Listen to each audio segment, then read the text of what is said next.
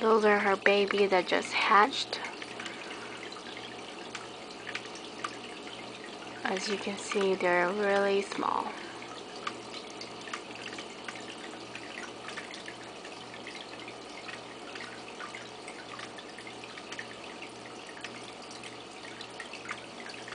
She's being very protective.